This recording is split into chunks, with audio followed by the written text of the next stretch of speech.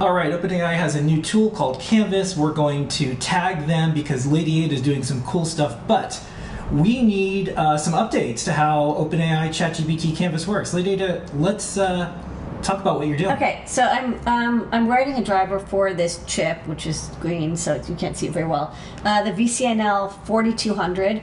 It's a light and proximity sensor, and um, the thing that really is annoying about writing drivers for these sensors is they have like five trillion little like knobs and like tweak the distance, high threshold, low ALS, PostScript, whatever. So I thought I would use um, ChatGPT to help me just do all the setters and the getters and the type def enums. Um, so one thing about writing Arduino code in ChatGPT, I've done it for a bit, so Canvas is new, but let's go to the um, the screen. I can show it up. So I usually have the PDF open and I've uploaded the PDF to, to Canvas already. So it knows about the PDF and so I can tell it like, oh, you know, get this register value and it can like look up the numbers. Um, but you're gonna, I, I tend to have three different files that I'm jumping between.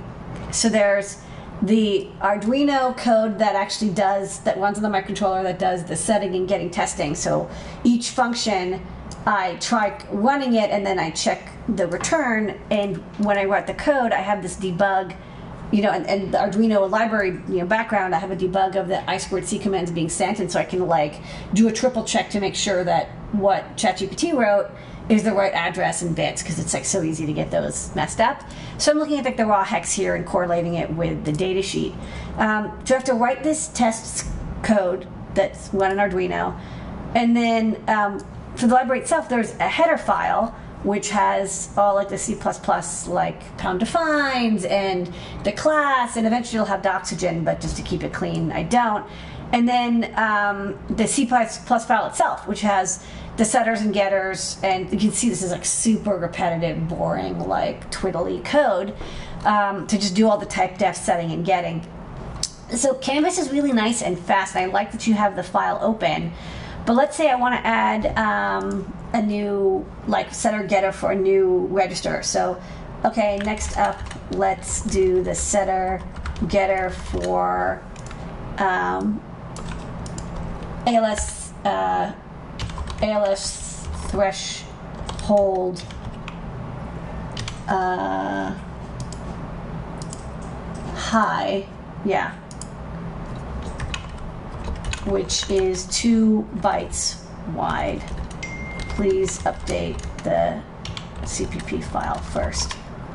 So what what is it, I have a trouble with them kind of like learning how to do is it loses all the context because I have three files going on and it like if all my code was in one file it would be awesome but because I have to have the header the C++ file like when I say add C++ file it like deletes the entire history. So there was like all this other code the code it wrote is great but um, it, you know, I basically have to kind of know where it would go, and then if I then say, okay, now update the header file.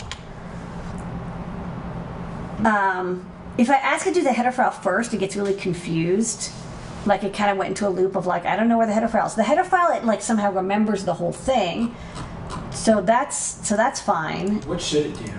Well, so what would be really nice is that if there were tabs here and I could give it like I try to give it the name. I was trying to tell ChatGPT like this is the header file, but instead it keeps renaming it and every time it updates it it renames it. And so if I close this and I go to like the file tab, I have like a new file for each one. Whereas what would be cool is if I had like tabs or multi-view and it would just like edit the file. I mean, I know it's a kind of a wrapper over GPT and it's here, because what happened is like the C++ file would get like you got overwritten like something just really weird happened. Like there's multiple files with the same name and this C++ file actually ended up being replaced with the Arduino code. Like it just got like super wigged out. Like the code itself is fine. It's just the file management is funky. Um, what would be neat is you know, here I would love there to be like this is copy, and I thought this was like window select. I wish there was like little like tabs, and I could just click between like the header and the CPP file, and then whatever is selected, I say add the pound defines to this file. It'll do that.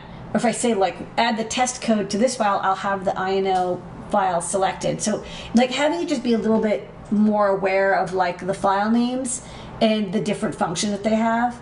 Because the guy's like, oh, add a create like a type def, and it did it in like the wrong file. So it's like it's very fast, but um, yeah, I think just like a, like the file management, if it was just like a little bit more file systemy, I think it would be awesome. Okay, right. Well, in the post and everything that goes with this, we'll uh, include the last big video we did of writing drivers and more with ChatGPT.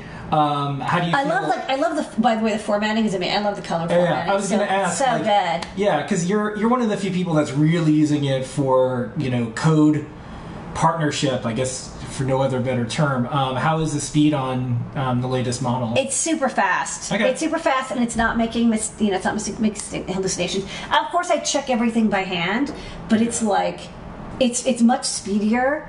I think like one of the things you know people who like write as you get to larger and larger programs, you know that it like tries to rewrite the whole thing. So I see it when it does the insertion stuff. It's great because like, I don't want it to rewrite all the old code. I just want it to add two new functions. But again, because I'm bouncing between three files, I think it like reloads the whole file and retypes it. it might it might just need the concept of. Uh, It's fi- a con- semi yeah. semi context of like I want you to work on this file. I mean, Yeah. I'm sure it's coming, and I don't mind. Like I copy and paste it into you know Emacs because I'm like a freak, and that's working out great. Okay. Um, I'm not expecting like full IDE integration. Do you want an Emacs interface to?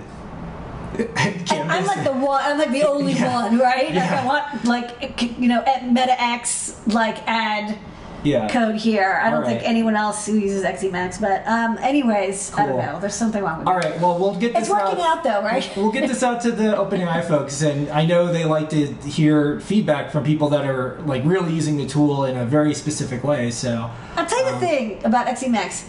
Unlike Visual Studio or like whatever code, blah blah blah editor or like Eclipse, it's never crashed on me and deleted all of my files. yeah. I've never had it like crash and lose everything I worked on. It's always and it auto saves. So like and it's very fast. Okay. I don't even know I'm defending myself. Well, because it's the internet, and you're just going to have a unlimited surface area of attacks, no matter what you do and what you choose. Get used to it. All right. Are you used to All it? right, back to coding. Okay, back to coding. Bye bye.